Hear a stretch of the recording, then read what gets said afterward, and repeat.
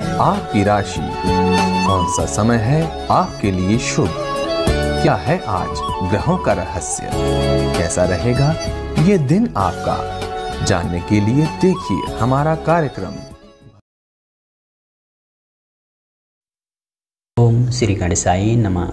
नमो नारायण मित्रों, राधे राधे। सितारे ग्रह नक्षत्र बदलते रहेंगे अपनी चाल के यहाँ का, राशियों का हाल। मेरे प्यारे मित्रों, आज हम बात करेंगे शनिवार के दिन आपको बोल कर भी ये पाँच चीज़ें कभी मत खरीदना। आप कंगाल बन जाएँगे, धन की हानि हो जाएगी और आप चोट और पटक में पड़ जाएँगे और आपकी जो सम्मान में किसी न किसी बाधाएँ आ जाएँगे और समस्या आ जाएँगे। पाँच चीज़ को बोलकर भी आपको शनिवार के दिन में घर में लेकर नहीं आना है और खरीद भी नहीं करना है, वरना आपको भारी नुकसान उठाना पड़ सकता है।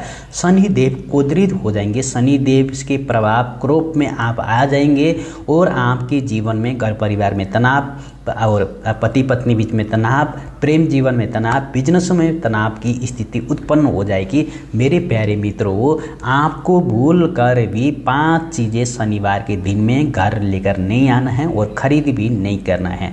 तो ये पाँच चीज़ क्या क्या हैं और आपको कैसी नुकसान पहुँचती है? क्या है ये पाँच चीज़ें? आज हम इसके बारे में बात करेंगे।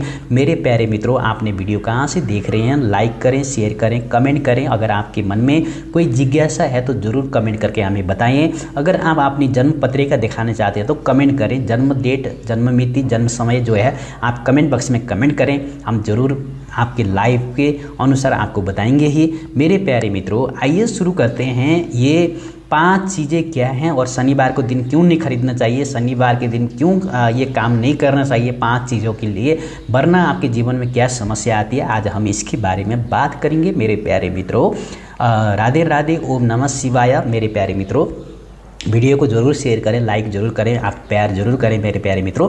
आइए हिंदू हिंदू के देवता, जो हमारे जो इंडिया, नेपाल में जो भारतवासियों के लिए जो हिंदू के देवता हम माने जाते हैं, जो नव ग्रह में से सात ग्रह जो हैं, ये जो शनि देव की स्थिति अगर हिंदू देवताओं के साथ भगवान जिससे सबसे लोग डरते हैं, शनि देव की प्रकोप सुनते ही, शनि का नाम सुनते ही डर जाते हैं, राहु केतु का नाम सुनते लोग डर जाते हैं। शनि देव के कारण से ऐसी मान्यता है कि शनि देव नाराज़ हो जाए तो कुछ ही दिन, कुछ ही महीने बालविक लगातार कई सालों तक बुरा असर पड़ जाता है। बहुत ही अशुभ प्रभाव पड़ जाते हैं।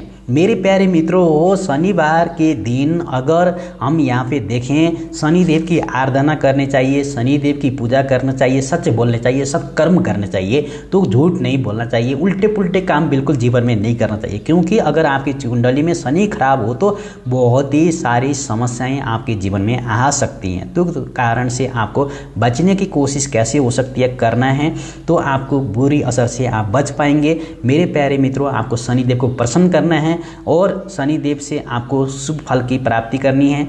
तो आज हम बात करेंगे आपको ऑयल चढ़ाते हुए आपको पीपल के पेड़ में या तेल के दीपक जलाने से शनिदेव प्रसन्न होते हैं। आप कई सालों से करते आ रहे हैं। तो ये गरीब को दान करना, गरीबी को भोजन कराना और यहाँ पे अच्छा माना जाता है। किसी काली चीज़ को, नीली चीज़ को, वस्तु को, लोहा दान करना काली दाल दान करना, काला कपड़ा दान करना, गरीबों को भोजन कराना बहुत ही शुभ माना जाता है।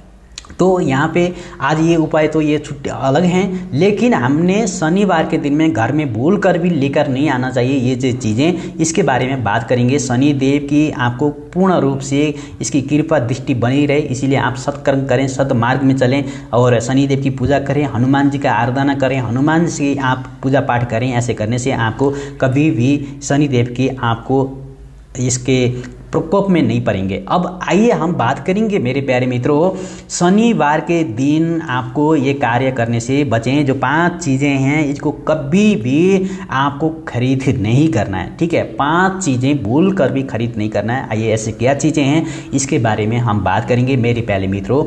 एक नंबर में है तेल।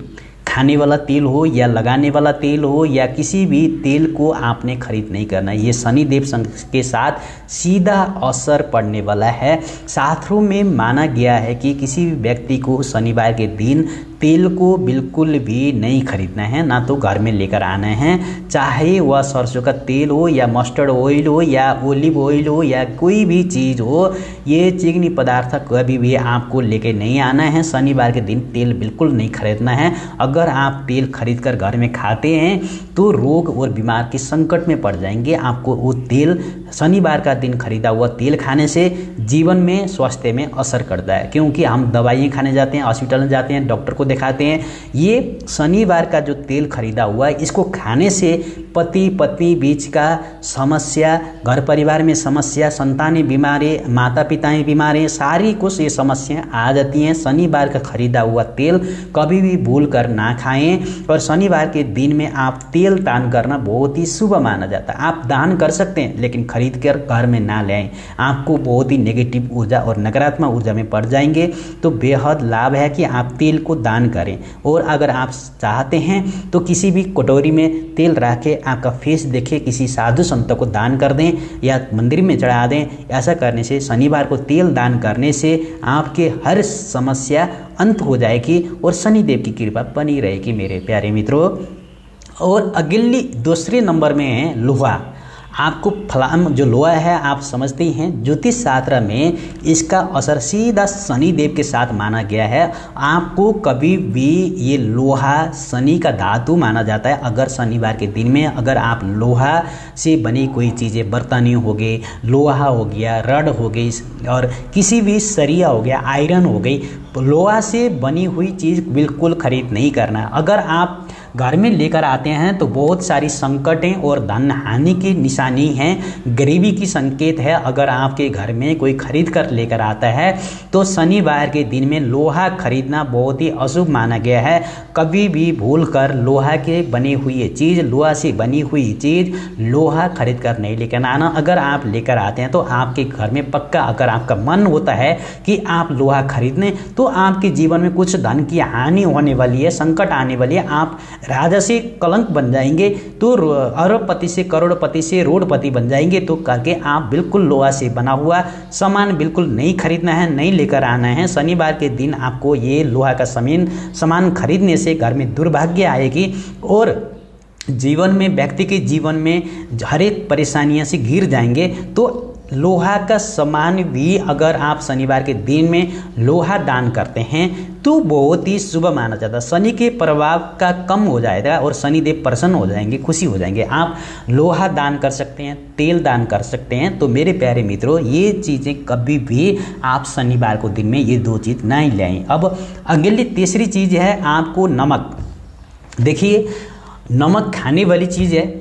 हम नमक के बिना बाँच नहीं सकते, ज़िंदा नहीं रह सकते, क्योंकि नमक हमको भोजन में बहुत ही ज़रूरी है।